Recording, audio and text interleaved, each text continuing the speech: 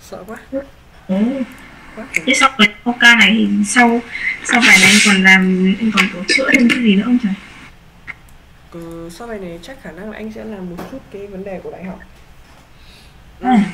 Ôi, Đấy nhá, cái bài này thực ra cái bài này thì nó cũng không không quá là phức tạp đâu. Ừm, tí nó phải cần dùng một chút cái kiến thức bổ trợ đó thì mới có thể nhìn nhận được nhá. Đấy, nhưng mà anh sẽ phân tích để cho em có thể hiểu được tại sao lại như thế. Bài này cha mạng các thứ không có đâu nhá. à vâng. Các bạn để đi xem lại em cũng không hiểu ấy.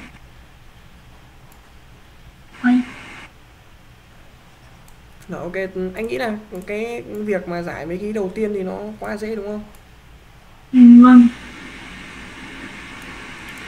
Rồi, mấy cái đầu tiên chắc là không có gì chứng minh chữ nhật gì đấy có vẻ dễ đúng không? Đây là A này. Đây nó là BC này. Rồi cái tam giác này nó vuông tại A nhá. Đúng không? Rồi, sau đó nó lại cho mình cái đường cao AH này. Ừ, cái này viết xấu quá để anh vẽ bằng cái kia đi cho đẹp.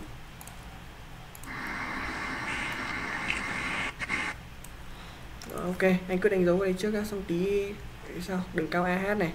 Từ H kẻ các cái đường thẳng vuông góc với AB, AC tại D và E đúng không? um,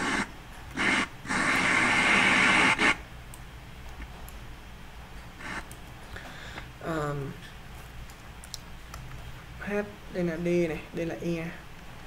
Rồi ok. Vuông này. Vuông chỗ này cũng có vuông. Rồi như vậy là cái việc đầu tiên thì ADHE là hình chữ nhật thì rất đơn giản tại vì là tại vì cái tứ giác này nó có ba góc vuông đúng không?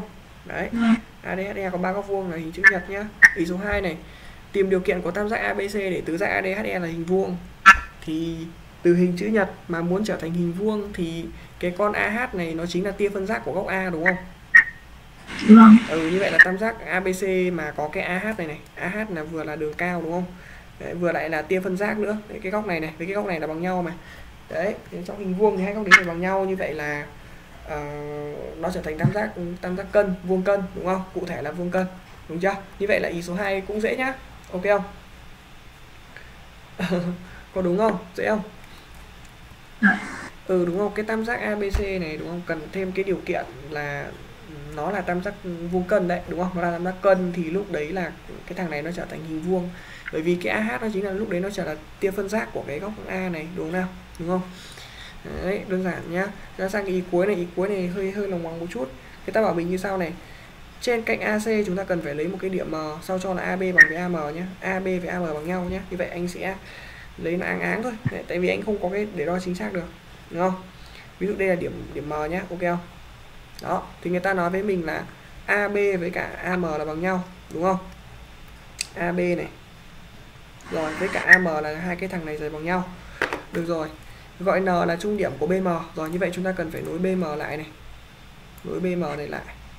Rồi sau đó thì chúng ta sẽ lấy cái điểm N là N là cái trung điểm của nó đúng không? Như vậy thì mình lấy cái điểm N vào đây. Được chưa? Lấy tương đối thôi nhé ok không? Ừ, ok. ok lấy tương đối thôi không có công cụ để cho chính xác, đúng không? Rồi, như vậy là mình sẽ có hai cái đoạn này rời bằng nhau. Rồi, ok. Đó.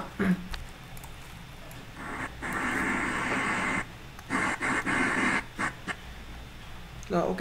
Người ta yêu cầu mình chứng minh là gì đây? HN là tia phân giác của góc AHC nhé chứng minh cái HN này này là tia phân giác của cái góc AHC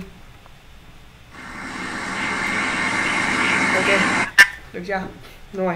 Thế thì ờ, đầu tiên nhé đầu tiên thì mình mình cứ nói về cái mặt ờ, tư duy trước nhé ok không? Để xem là tại sao nó lại làm như thế nhé ok không?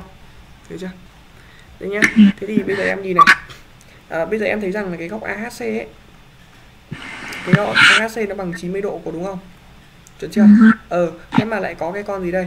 Có cái con HN đúng không? HN nó là cái con tia phân giác của đúng không? Đúng chưa? Vậy thì khi mà cái con HN của em mà là tia phân giác ấy thì ngay lập tức là nó sẽ chia đôi cái cái góc AHC ra đúng không? Thành hai góc nhỏ bằng nhau. Đó là cái góc AHN có nhìn được không? Có đúng không? Thì lúc đấy nó sẽ phải bằng góc là góc NHC đúng không?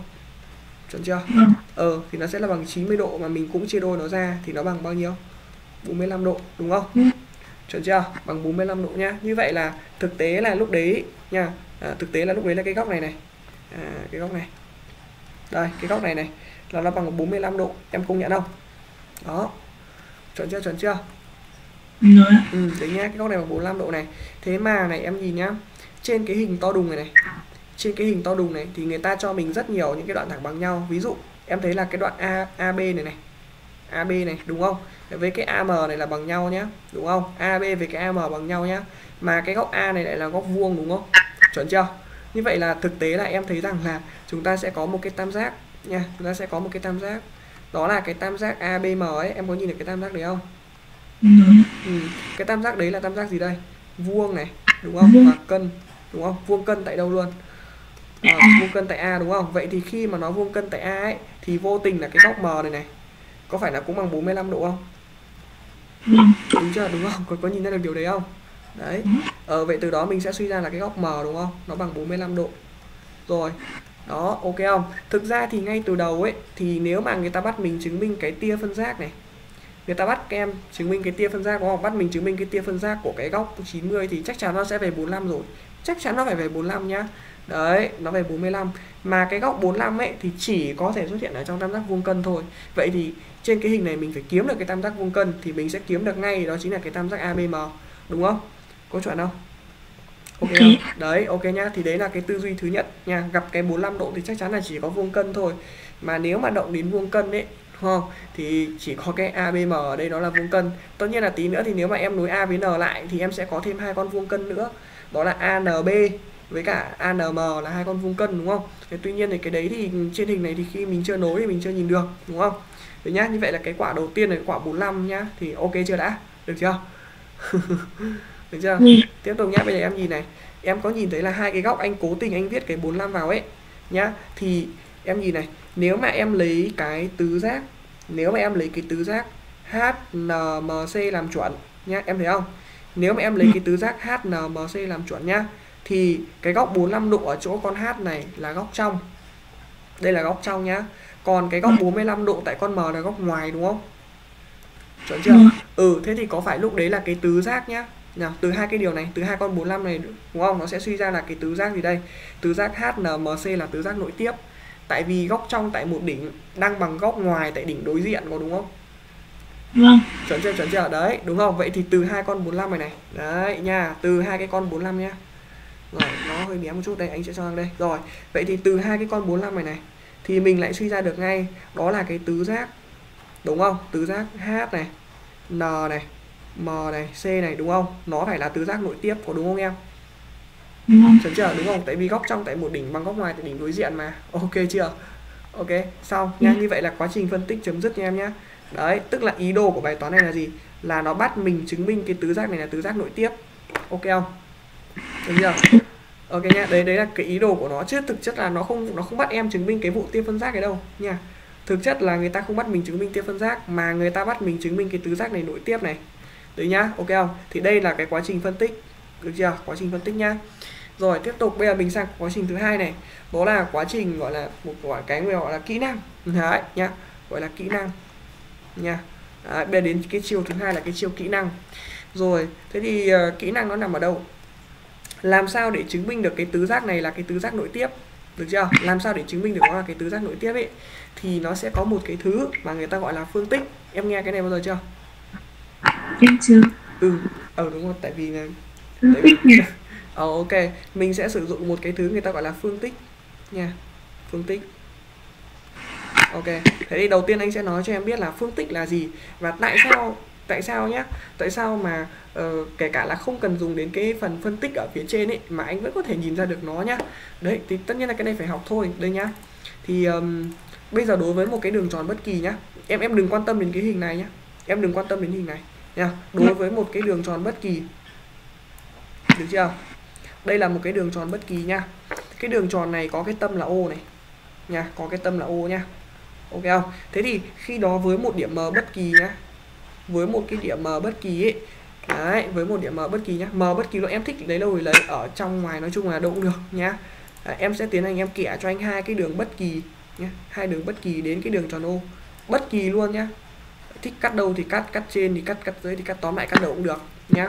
Được chưa? Ừ. Thế thì khi mà mình kẻ từ cái M này đến cái O nhá thì em thấy rằng nó sẽ cắt tại 4 điểm đúng không? Chuẩn chưa? Vâng. Đây nó là A này, đây nó là B nhá đây nó là C này đây nó là D lúc này em nhìn thấy một có một cái tứ giác nội tiếp chưa có một cái tứ giác nội tiếp nhỏ nhỏ xinh xinh ngay đúng không vâng chuẩn không chuẩn không đó đó là tứ giác gì đó là tứ giác AB CD có đúng không chuẩn không ừ, vâng ừ, đúng không? Đây nhá ok không? Đấy thì ngay lập tức nhá từ tất nhiên cái việc này là anh anh anh sẽ viết ngược để cho em dễ hiểu thôi nhá thì từ cái con m này mà mình kẻ hai cái đường đúng không? Tức là hai cái con cắt tuyến đến cái đường tròn ô ấy thì ngay lập tức là mình sẽ có một cái con gì?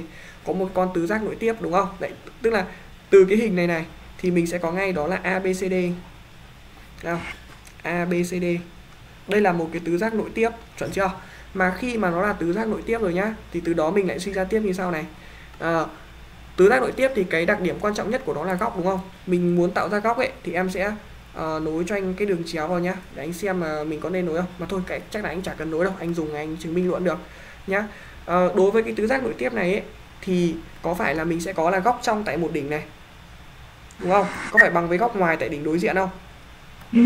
Đúng không? Ok nhá. Vậy thì ngay lập tức em sẽ thấy rằng sẽ có hai cái cặp tam giác đồng dạng với nhau. Anh sẽ viết đúng thứ tự đỉnh để cho em dễ nhìn nhá.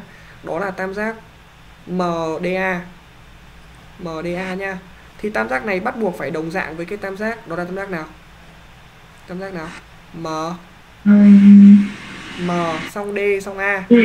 B đúng nó sang là M xong B xong C có đúng không? Chuẩn chưa? Ờ vậy thì từ cái tam giác đồng dạng này này sẽ lại tiếp tục sinh ra một cái tỷ lệ nhá. Em nhìn này em sinh ra cái tỷ lệ đó là gì? Đó là à, MD đi anh viết anh cứ viết từ từ nha MD nha nếu mà anh viết MD này thì anh phải viết trên cho gì? Trên cho MB đúng không? Có đúng không? MD MD thì phải trên cho MB đúng không? Chuẩn chưa? Vâng. Thì nó bằng là MA đúng không? MA này nếu anh viết MA thì anh phải chia cho con gì? Chia cho con D ừ MC chuẩn không? Có hiểu không? Vâng. Vậy từ đây anh lại suy ra tiếp anh nhân chéo vào thì anh có là gì? Anh có MA nhân MB đúng không? Bằng gì luôn? Vâng. bằng MC M nhân MD chuẩn chưa? Như vậy em có thấy cái điều này đặc biệt không? Ừm, cái này em em vẫn thấy nhưng em không biết đâu là ừ em em có nhớ là cái quá trình anh dựng cái hình này là anh vẽ hai cái thằng MAB và cái thằng MCD là thằng bất kỳ không em? Vâng. Ừ, nhưng mà em có nhìn ra được này Đó là cái tỷ lệ này này. MA nhân MB em có thấy nó đi trên cùng một nhánh không?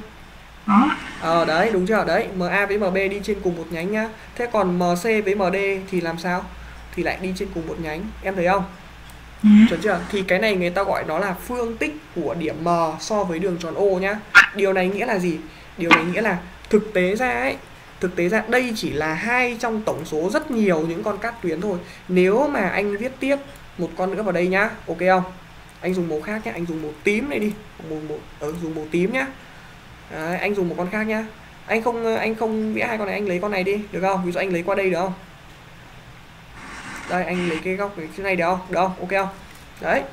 Được chưa? Thì ờ, lúc này mình có một cắt tuyến mới đúng không? Nó cắt tại đây nhá. Anh gọi đây là điểm ờ, điểm ờ, điểm e nhá. Được không em? Được không? Bên này Vâng. gọi là điểm f nhá. Đúng không? Thế thì cái con này mình hoàn toàn có thể viết tiếp đúng không? Là mình có là gì? Ma nhân mb đúng không? Thì bằng gì nào? Bằng md nhân mc đúng không? Và nó cũng sẽ bằng là gì? Me nhân mf có đúng không? Em công nhận không vâng ừ tại vì nó rơi vào vị trí bất kỳ mà có có hiểu không? Ừ ok nhá được chưa? Rồi thế thì bây giờ nếu mà anh vẽ thêm tiếp tuyến thì em nghĩ xem là chuyện gì sẽ xảy ra. Nếu mà anh vẽ tiếp tuyến thì sao? Tiếp tuyến của cái gì rồi tiếp tuyến của À, tròn ô ấy ừ chuyện gì xảy ra? Ờ em nhìn nhá em nhìn này một cái con phương tích em chỉ cần nhìn vào con màu vàng này cho anh thôi. Em có Vâng. thấy là con phương tích của mình nó bằng là ma nhân với mb không vâng. Ừ. Thế nếu bây giờ nhá nếu mà anh vẽ cắt tuyến vào đây thì em có thấy là hai hai cái điểm cắt của nó bắt đầu sát sát vào nhau không? Đây nhá. Bắt đầu là a và b nó đang thưa nhau này. Anh cho cắt vào đây thì em thấy nó sát hơn chưa? Ạ. Sát hơn này. Sát hơn này. Được chưa? Em thấy bắt đầu sát hơn chưa? Em thấy hai cái điểm nó gần gần về trùng nhau chưa? Ạ. Hai điểm cắt gần về trùng nhau nhá. Đến khi mà anh cho trùng nhau thì nó sẽ trở thành cái gì?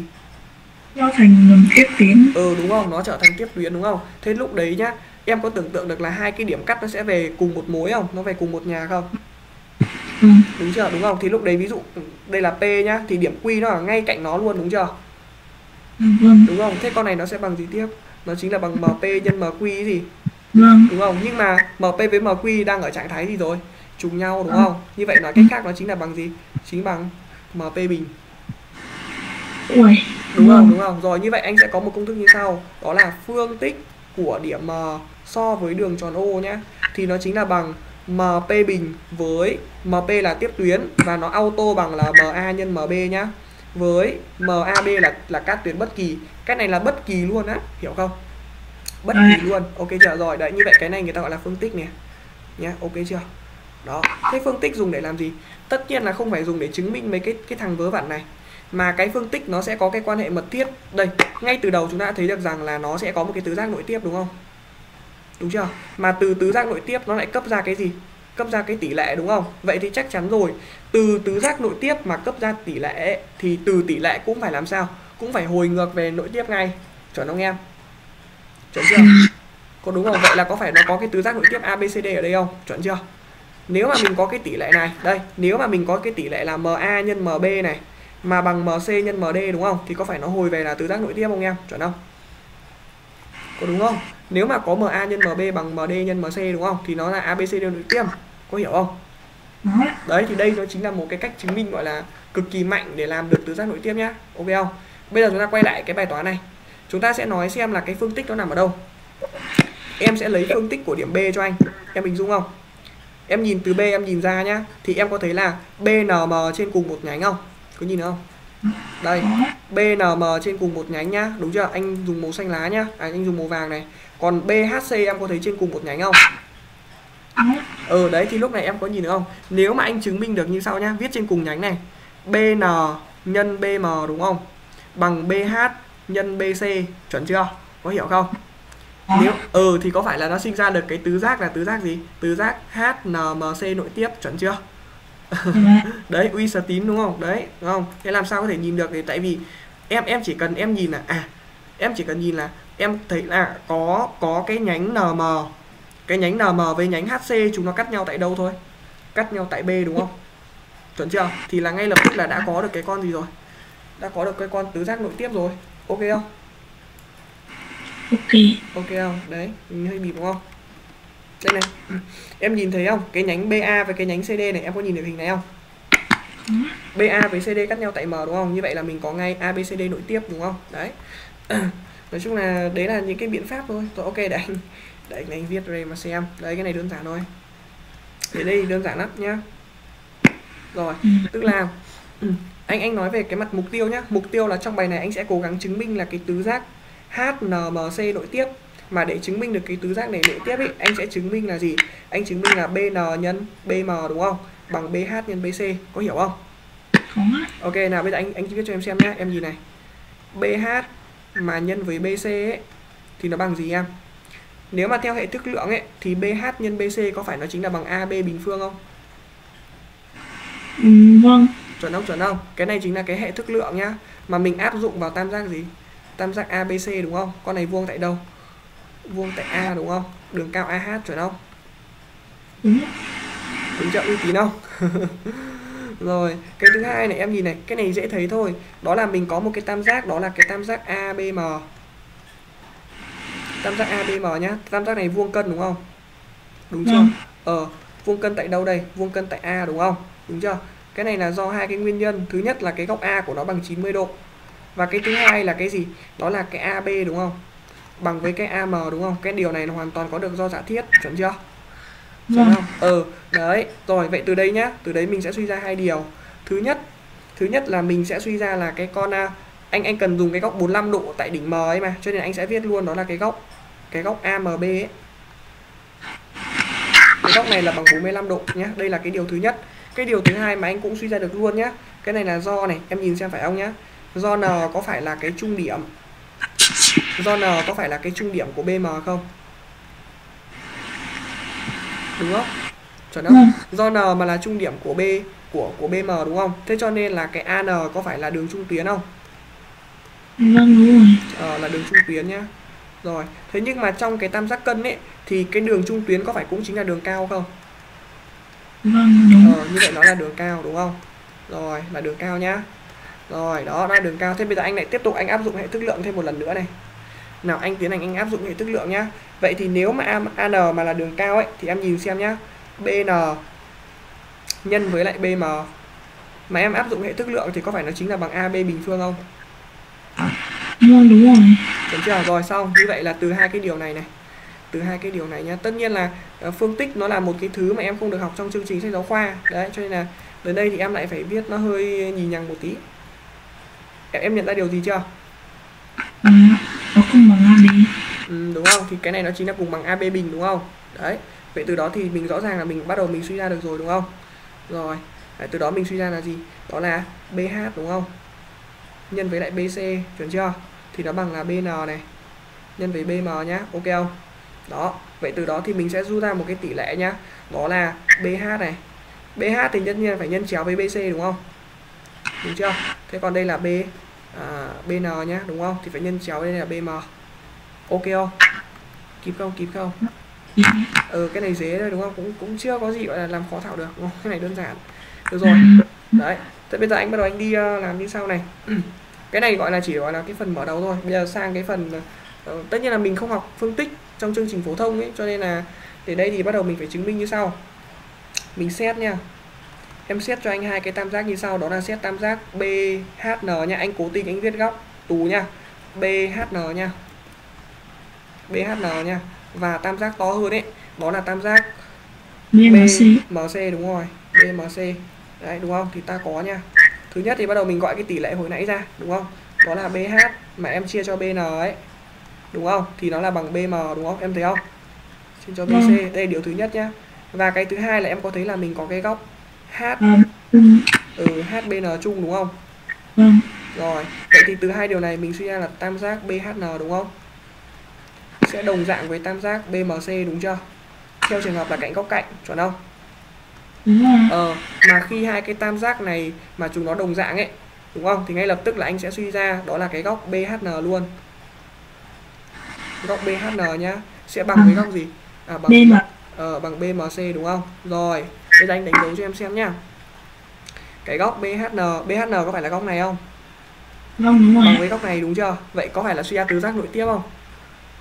Vâng, đúng ừ, rồi. tại vì góc trong tại một đỉnh đúng không và góc ngoài tại đỉnh đối diện mà đúng không từ đó mình sẽ suy ra ngay đó là tứ giác H đúng không NMC đây là tứ giác nội tiếp đúng chưa mà khi mà nó là tứ giác nội tiếp mình lại trả tiếp một lần nữa đó là góc gì góc NHC đúng không góc NHC thì lại bằng góc gì lại bằng góc AMB đúng không? Chuẩn chưa? Có phải lúc đấy cái góc 45 ở chỗ dưới này bằng góc 45 ở bên trên không? Thì, ừ, đúng rồi. ừ chuẩn không? Đấy uy uy tín rồi gì xong rồi đấy nhỉ đó bằng 45 độ đúng không? Vì tứ giác nội tiếp thì ờ, trong tại đỉnh này thì bằng ngoài tại đỉnh đối mà đúng không? Đấy Vâng. ừ xong rồi nhỉ đấy đến đây là lập luận một cái dòng cuối cùng anh nghĩ là xong rồi đấy. Mà này mà cái góc AHC nhá thì nó lại bằng 90 độ đúng không nào? Đấy thì em thấy không? Góc 45 mà so với góc 90 thì đúng là nó bằng một nửa được chưa? Vậy từ đó thì mình dẫn tới là HN đúng không? Là tia phân giác ổn chưa? Vâng. rồi đúng không? Tia phân giác của góc AHC đó. Đó thực ra cái phần chứng minh thì có vẻ là ờ nó cũng ngắn ngắn đúng không? Chẳng qua là anh đi phân tích cho em để em thấy không để em em em thấy không em còn có thêm một cái tư duy nữa để em nhìn. Nhưng mà bây giờ thì tiếc quá em không còn thi vào 10 nữa. Đấy nhưng mà đúng không? Nếu mà mình nhìn từ B mình nhìn ra đúng không? Hiểu không? Vâng. đó thì nói chung là những cái này mạnh mà. Nhưng mà ừ, anh thấy là cũng chẳng có ai dạy cho cái đây nếu mà mình nhìn từ B mình nhìn ra đấy đúng không? Đó thì mình sẽ va phải ngay một cái con rời đánh đúng không? BNM và BHC đúng không? Đó nhìn từ B mình nhìn ra một cái thì mình có ngay được một cái tứ giác nội tiếp. Đẹp ngay đúng không? Đó là HNMC chuẩn không? Đó. Ừ. HNMC và khi đó thì mình kéo được cái con 45 thực chất bản chất là việc là cái việc giải bài này là mình mình đi mình kéo cái con 45 từ phía trên này này đúng không? Chuẩn không? Đấy mình kéo cái con 45 từ phía trên mình kéo về cái chỗ này là xong. Đấy phải để kéo được thì chắc chắn là phải dùng tứ giác nội tiếp ở đoạn này rồi. Đó. Ok. Bài này bài này là của sở Bắc Ninh. Sở Bắc Ninh vừa mới thi um, vừa mới thi chiêu chiêu thôi. Vừa mới thi chiêu chiêu uh, cách đây khoảng một hai hôm ấy mà. Anh thử anh thử cho cái tụi kia cho nó giải nhưng mà cuối cùng cũng lại là anh giải. Cho nó làm ấy nhưng cuối cùng thì anh giải. Giờ bọn nó thi xong hết rồi. Đấy.